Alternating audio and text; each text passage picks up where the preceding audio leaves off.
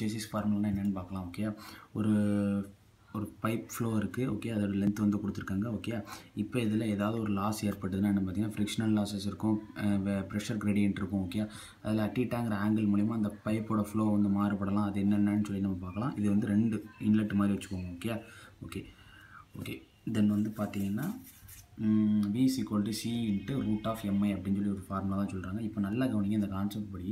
இப்போ பைப் வந்து நான் இது வழியாக இன்லெட் கொடுத்தேன்னா வச்சுக்கோங்களேன் இது வரைக்கும் வந்து இறங்கிறதுக்கு வாய்ப்பு இருக்குது தண்ணி ஓகே ஏன்னா அது வந்து இந்த சைடு ஓப்பனிங்கில் இருக்குது இந்த சைடு வந்து ஓப்பனிங்கில் இருக்குது ஓகே அதான் அது கட்சி.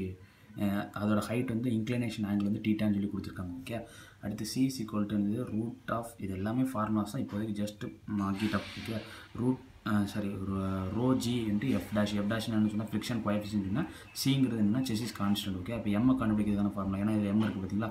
Hydraulic mean depth okay area by என்னது? Perimeter area of cross section by perimeter இப்போ ஐ சி எம்முக்கு ஃபார்முலா தெரியும். எனக்கு ஐக்கு ஃபார்முலா தேவை. ஐக்கு ஃபார்முலா பார்த்தீங்கன்னா tan theta tan theta is to HF by என்னது L okay friction losses friction losses in head head friction losses by என்னது?